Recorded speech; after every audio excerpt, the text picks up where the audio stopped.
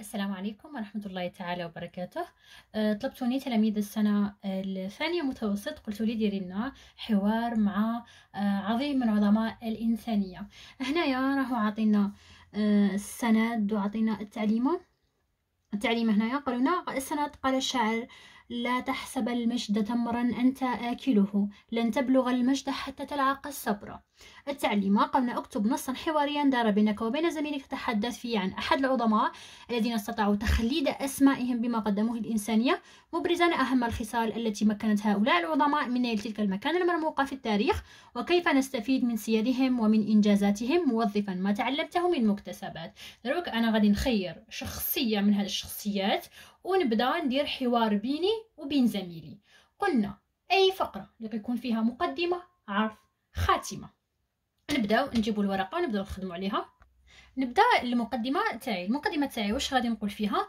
نقدروا نحافظوا على هذه المقدمة نغيروا فقط الاسم. إذا بغينا نخيروا اسم آخر غير الأمير عبد القادر. أنا واش نقول؟ نقول الأمير عبد القادر. بطل مغوار. من أبطال الجزائر. كتب اسمه من ذهب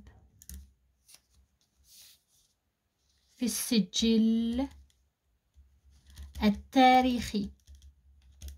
هذه أنا مقدمة عندي مقدمة. هذا راه يهضر مع زميله هذا تمهيد. من بعدين نجي نسأل هم واش قالوا لي؟ قالوا لي تخليد اسمي بمقدم الانسانيه مبرزا أهم الخصال تمكنت هؤلاء من نيل المكان المرموق في التاريخ. فهنايا غادي نقول له أنا غادي نجي نهضر مع الصديق تاعي نقول له فما رأيك يا صديقي؟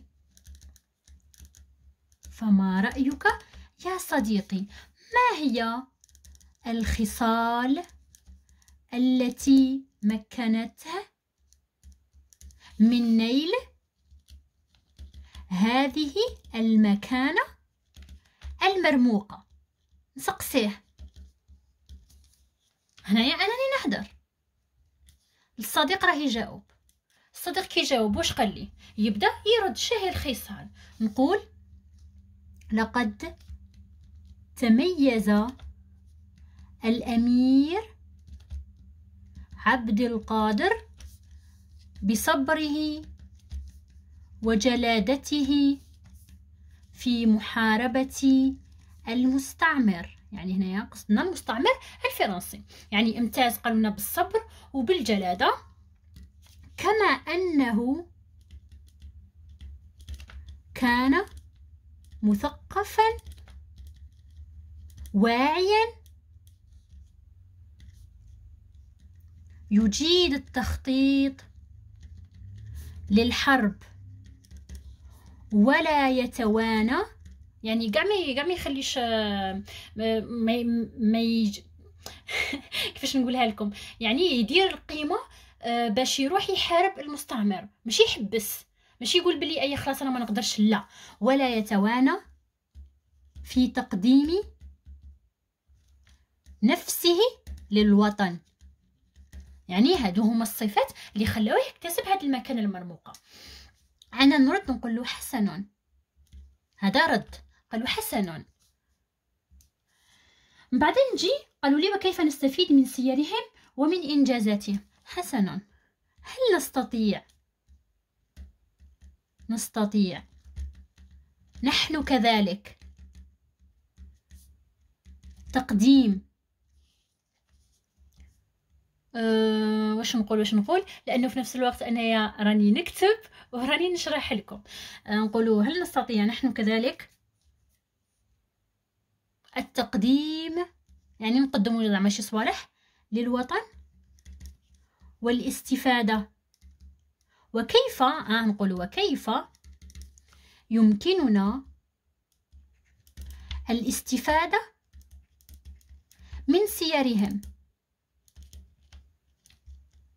هادي شوفوا هما عطاوهاني كطاوها لي في النص أنا عطاوني قالوا لي فعندي حوار. كي عندي حوار واش عطاوني؟ أنا نروح نحولها سؤال نحول سؤال ونبدا نجاوب. نحول سؤال ونبدا نجاوب. عندي سؤالين. السؤال الأول جاوبت عليه نجي السؤال الزوج نجاوب عليه. نصيب روحي كملت الفقرة. وندير خاتمة صغيرة وخلاص. صراحة. كيف يمكن الاستفادة من سيرهم هنا يبدأ يرد الآخر؟ يقول أن نقتدي. بهم ونصبر على طلب العلم لنصل بوطننا للمراكز العليا. فيزدهر